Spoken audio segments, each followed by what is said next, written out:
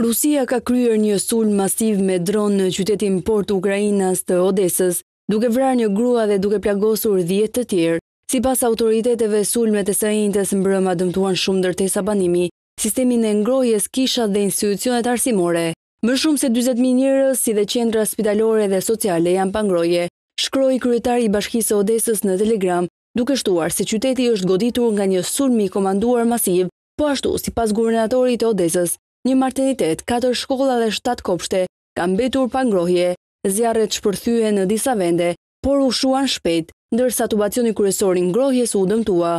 Rusia kohët e fundit ka shtuar sulmet ajrore në Ukrainën jugore, duke dëmtuar anijet civile dhe objektet portuale në rajonin e Odesës, ndërsa Kievi ka intensifikuar sulmet e tij ndaj objektivave ushtarake dhe energjetike ruse. Ministria e Mbrojtjes e Moskës ndërkohë njoftoi se kishte kapur pesëdhjetë e një dronë ukrainas gjatë natës, duke penguar kështu një sulm që kishte shënjestruar rajonet bregdetare. Ukraina po përgatitet për dimrin e saj më të ashpër të luftës deri më tani, për shkak se me uljen e temperaturave, sulmet e Rusisë mund të jenë shkatërrimtare, duke prekur sistemin e energjisë dhe ngrohjes.